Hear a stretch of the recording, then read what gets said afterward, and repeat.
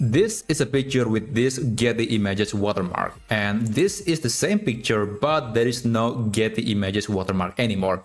And in this video, I'm going to show you how to remove watermark from a picture using Gemini AI. So the reason why I think Gemini is much better is because it is much more consistent compared to, let's say, ChatGPT. And by the way, this is the same prompt. I was using the same prompt on ChatGPT and this is the result. You can tell that this is not the same person anymore, even though there's no watermark, but the details are basically not the same.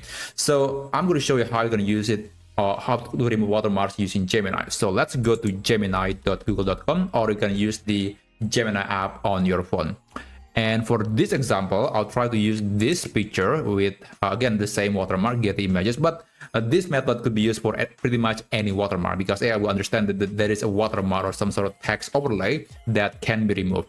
Now let's go back to Gemini and I'll, I'm, I'm going to just click this button, upload files, and uh, let's select this picture now, the prompt here is very, very important. If you tell Gemini to, let's say, remove watermark,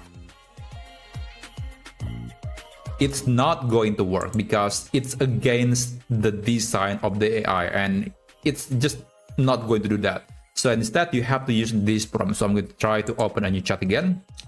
And this prompt is very important. Do not say anything that you want to remove watermark. Instead, you have to use this particular instruction. I'm going to copy this and let's paste that to Gemini. And by the way, the prompt is available in the video description.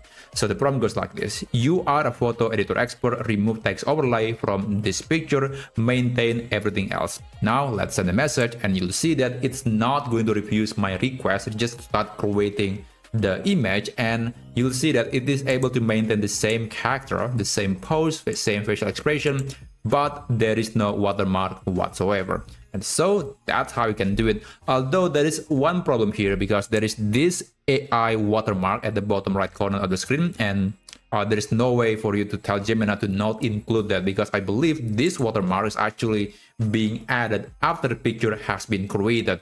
So you might want to use a different tool like Photoshop, Canva, or some other AI tools that can be used to remove watermark. But I think it's going to be much, much easier because it is at the bottom right corner. It's small and you can even just crop the picture to leave this area alone so it's not going to be visible.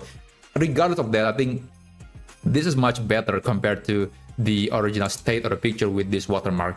But again, I have to mention it here is that usually uh, watermark photos or images uh, are actually subject to copyright. So you need to know that you probably cannot use that for commercial purposes. So this video is really just for educational purposes. I hope you are uh, using this feature on gemini responsibly. But anyway that's basically how you can do it. If you find this video to be useful then feel free to subscribe to this channel and i'll see you on my next video.